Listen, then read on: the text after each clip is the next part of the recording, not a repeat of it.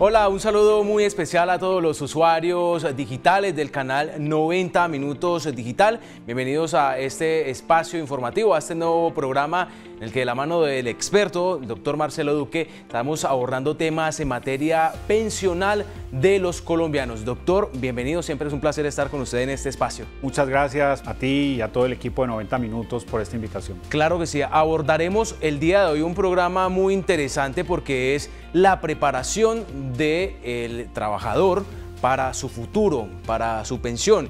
Y muchas veces nosotros nos desentendemos del tema porque estás en una empresa, tu, empresa te paga, te aporta, o quien es un trabajador independiente pues hace sus aportes o no los hace, pues no piensa uno mucho en cómo preparar justamente esa pensión y hay temas claves, hay temas claves en los que usted hoy nos va a mencionar. ¿Qué podemos entonces, eh, como para iniciar, básico de cómo preparar esa pensión eh, para nuestra vida adulta? Otto, es un excelente tema. Lo primero que quiero decir sobre este asunto es, todos los seguidores y televidentes de 90 minutos, la noticia es que no vamos a quedar siempre en la misma edad, sino que la vida va a avanzar. Entonces, hay una edad clave para, digamos, enfatizar la preparación de la pensión y es mujeres a partir de los 45 años y hombres a partir de los 50. Lo iremos explicando en el programa por qué. Pero el primer mensaje es, si usted tiene 45 o un poco más, ya es hora de que haga un plan concreto de preparación para el retiro. Y si es un hombre de 50 también. No es que esté muy adulto, ni mucho menos, sino que son momentos en materia pensional claves para hacer, digamos, mucho más énfasis o velocidad en la preparación para la pensión porque si no, llegan los 57 a las mujeres, los 62 a los hombres y, y les llegó la pensión y no se prepararon. Son más o menos unos 10 años previos a, su edad de, pensión en el que uno se debe pensar, ¿qué quiero hacer? ¿Quiero seguir, quiero seguir en el privado? ¿Me quiero ir para el público, al fondo público? Eh, eh, entonces, eh, es el momento de decir, ¿qué hacer? Y, que usted también nos aclare, doctor Marcelo Duque, eh, con cuántas semanas eh, eh, se pensiona el, colombiano. Bien, entonces otro, mira, lo primero es, hay una edad límite para decidir entre colpensiones un fondo privado y es antes de cumplir mujeres 47. Antes de cumplir 47 hay que decidir una mujer, exactamente a los 46 y, y digamos 11 meses. Y un hombre a los 51 ¿Por qué decía yo ahora de 45-50? Porque como estamos hablando de preparación, antes hay que, digamos, pensar en esto. Pero el límite es, una mujer de 46 tiene que decidir si sigue por el camino de colpensiones o por un fondo privado. Y un hombre a los 51. ¿Qué hace esa decisión para un lado o para otro? Una serie de variables que podemos conversar ahorita. Pero la ley establece un límite. Entonces lo que no, no nos puede pasar a ninguno de los televidentes de 90 minutos es que se nos pasa ese tiempo y no caímos en cuenta y pasaron los 47 o 52 y de pronto estoy en donde no quiero estar, sino en otro lugar en materia pensional. Entonces, ese es el primer mensaje. Ojo antes de los 47 mujeres y ojo antes de los 52. Perdón, lo interrumpo. Si se me pasa ese tiempo, eh, se hace automáticamente, se queda en el que en el que usted está. Después de que pase ese tiempo, no hay una, no hay tiempo, no, o sea, no hay retorno. Te quedas ahí. Si no hice un proceso que se llama doble asesoría, es que llamo a Colpensiones al fondo privado y me muestran de manera general cuáles serían las condiciones de uno en otro, me quedo donde estoy. Hoy hay la posibilidad, y nosotros hemos tenido mucho éxito en esos procesos, de que quien supera mujeres 47 y hombres 52, si está por ejemplo en un fondo privado, pueda volver a Colpensiones. Pero como estamos hablando de preparación, la clave aquí está en antes de ese momento. Entonces hay que prepararse de entrada, es las edades claves y dos, cuál va a ser la pensión. Y ahí es fundamental conocer el cálculo de la mesada simulada en Colpensiones y la mesada simulada en el fondo privado para que la persona tenga otros elementos pues para decir cuál me conviene más y otras variables que te puedo enseguida compartir. No sé si eh, sea responsable preguntarle esto, pero en su experticia ¿qué es mejor, quedarse en un fondo privado o en un fondo público? Todo el mundo eh, se quiere ir a colpensiones después de, en estos últimos 10 años. Es lo que yo escucho en la calle, que cotizas, cotizas en el privado toda tu vida, pero faltando estos 10 años te vas para el público. Eh, ¿qué, ¿Qué pasa ahí? Bien, bueno, esa es una pregunta, digamos, gruesa. ¿Qué pasa? Nosotros desde Cómo me pensiono, desde la firma que yo represento, hemos encontrado 12 variables que hacen un caso distinto a otro. Voy a mencionar algunas. La edad del trabajador, la edad de su cónyuge, dónde trabaja, si ha trabajado en el sector público, si tiene hijos, qué edad tienen los hijos, si tiene hijos en condición de discapacidad, si está en un fondo privado y tiene algo que otro que se conoce como bono pensional, si tiene salario integral que son salarios más altos. Entonces, de acuerdo a todas esas variables es que uno puede tener los elementos para que la persona decida por uno u otro. En resumen, nosotros creemos que hay gente que le conviene Colpensiones y otra que le conviene un fondo privado. ¿De qué depende? De la respuesta individual y ese es el consejo. No se dejen llevar que todos vamos para un lado o para otro. Ahí es que ver el caso particular y sobre eso la persona, digamos, con unas bases ciertas o con uno de los elementos, decidir entre el fondo público otro, o el privado, lo que más le convenga. Bueno, ¿cuántas semanas debo haber cotizado justamente para empezar a tomar esa decisión final de, de mi pensión?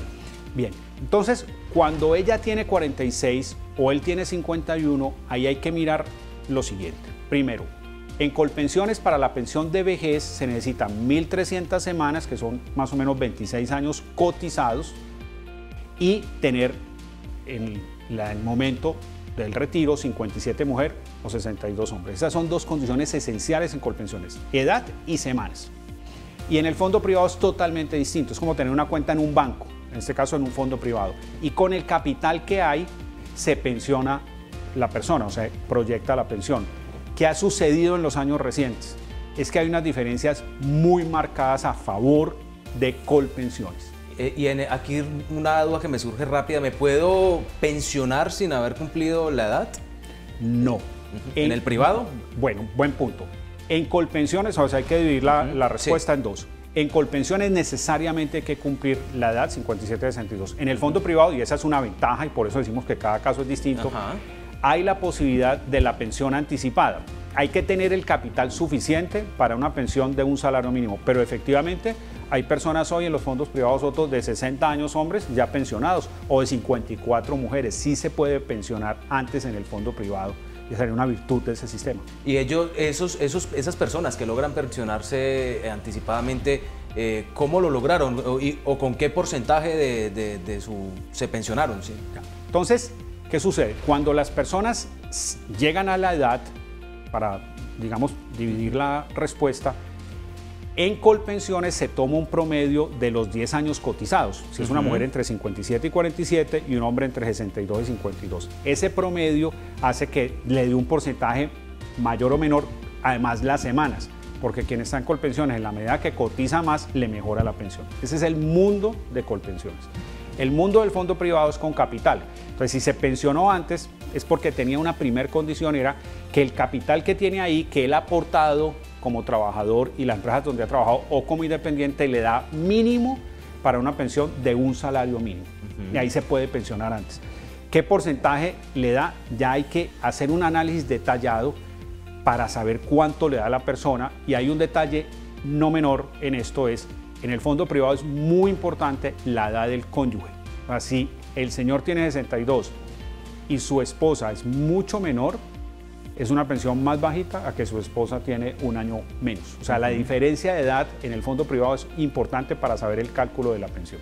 Claro que sí, hablemos también de los aportes adicionales que pueda hacer el trabajador para de pronto pensionarse con, valga la redundancia, una pensión más alta. ¿Cómo, cómo, cómo hace una persona de pronto que se gane 5 millones de pesos, que se ha acostumbrado toda su vida a trabajar bajo ese salario y que se pensiona con menos y él quiere de pronto tener, mantener más o menos su, su, nivel de salario de toda la vida, ¿cómo o cuánto tendría que, llegar a aportar adicional? Bien, ese fenómeno se llama brecha pensional. Eso en concreto, en términos prácticos, ¿qué es otro? Es una persona se puede ganar 5 millones y su pensión ser 2. O sea, hay casos donde la pensión es el 40% de lo que era el ingreso. Sí, claro. O, o menos a veces. ¿Qué se puede hacer ante esa realidad que vamos a vivir todos, excepto quienes ganan un salario mínimo? Porque la pensión en Colombia es mínimo un salario mínimo. Por ahí arriba, todos. ¿Qué hay que hacer? Ahorrar. Entonces hay diferentes instrumentos de ahorro para el retiro. Por ejemplo, comprar un apartamento y alquilarlo, irlo pagando con el alquiler y después que eso sea un, digamos, pagar el crédito con el alquiler y que después eso sea un ingreso adicional para la vejez. Esa es una muy buena alternativa. Los fondos de empleados, verlos como una opción de ahorro. Los fondos de pensión voluntaria, las cooperativas. Pero es de cara al tema que nos ocupa hoy, que es la preparación, el ahorro es la forma de que eso que tú mencionas, que le pasa a mucha gente, no sea, digamos, tan, como digo yo, como un aterrizaje forzoso, sino que sea un proceso mucho más amigable. Claro, en, últimas, quien se ha ganado toda su vida 5 millones no se va a pensionar con 5 millones jamás, eso no va a pasar. Jamás. Y no solamente a veces los colombianos decimos, es que en Colombia las pensiones son muy malas, no, realmente las pensiones en el mundo se, mueven, se miden por porcentajes. Y por ejemplo en Estados Unidos las pensiones porcentualmente son más bajitas que en Colombia. Entonces nadie, ni aquí ni en otras partes del mundo, se va a pensionar por lo mismo que ganaba, repito, excepto un televente de 90 minutos que se gane un salario mínimo, ese sí queda igual, pero el resto, las mesadas son inferiores y por eso el ahorro es tan importante y ahora en el proyecto de reforma tributaria se ha venido discutiendo sobre los beneficios tributarios del ahorro de largo plazo. Bueno, importante entonces, entonces lo que usted nos menciona, un tema también amplio, un tema abundante. Queremos pedirles a todos los usuarios digitales del canal 90 Minutos Digital eh, que nos envíen todas sus dudas, todas las preguntas que tengan para el doctor Marcelo Duque. Ya saben, nosotros estaremos eh, eh, conociéndolas, estaremos indagando sobre ellas con él justamente para preparar este tipo de programas especiales que se logran gracias a todos los comentarios que ustedes nos han enviado a través de las redes sociales. Lo pueden hacer a través de Facebook, Instagram, Twitter, YouTube y allí nosotros estaremos hablando puntualmente de todas estas dudas y consultas que ustedes tienen a través del ecosistema digital. ¿Cómo me pensó? su empresa, doctor Marcelo Duque, qué beneficios y qué pueden encontrar los usuarios eh, si lo consultan.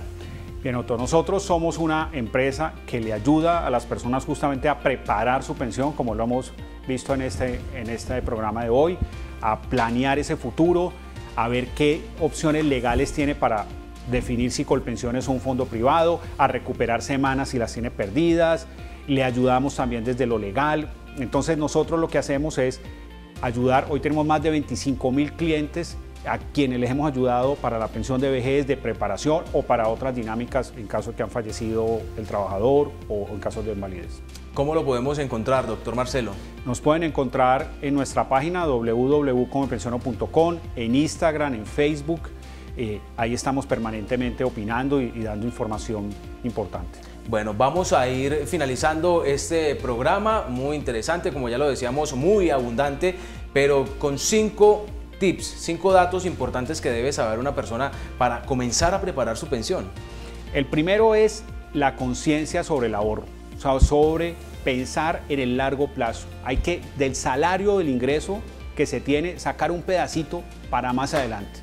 Lo segundo es hay que ver esa preparación como algo fundamental para la edad adulta. Lo tercero, mujeres de 45 y 46, hombres de 50 y 51, hay que pensar si quieren Colpensiones un fondo privado y cerciorarse o asesorarse de qué es lo que les puede convenir. Cuarto, cada caso es distinto y en eso quiero hacer énfasis. La gente a veces lo que le dijo un vecino, lo que le dijo un amigo y sin ningún tipo de análisis otro va tomando decisiones en algo tan serio como la pensión. Y por último, seguir este programa de 90 minutos porque aquí estamos justamente ayudando a las personas a prepararse para su pensión y apropiarse de su futuro. Claro que sí, muchísimas gracias por esa invitación, doctor Marcelo Duque. Siempre un placer compartir con ustedes este espacio. Gracias, Otto, a ti y a 90 minutos por la invitación. Claro que sí, esto es Tu Pensión. Ya saben, este espacio informativo del canal 90 Minutos Digital, en el que resolvemos de la mano de un experto todas las dudas que ustedes tengan en materia pensional. Feliz resto de día para todos y nos vemos en un próximo programa. Esto es Tu Pensión.